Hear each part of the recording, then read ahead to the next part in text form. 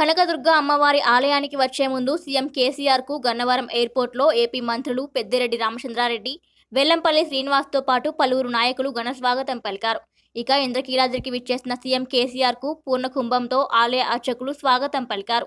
అమ్మవారిని దర్శించుకున్న ఆయన కాళేశ్వరం ప్రాజెక్ట్ డిజైన్ ఆహ్వాన పత్రికను ఉంచి ప్రత్యేక పూజలు నిర్వహించారు. అనంతరం అర్చక స్వాములు సీఎంకు ఆశీర్వచనాలు ఇచ్చి తీర్థ ప్రసాదాలు అందజేయగా అమ్మవారి చిత్రపటాన్ని ఆలయ అధికారులు బహుకరించారు. దాదాపు అరగంట పాటు కేసీఆర్ ఆలయంలో గడిపారు.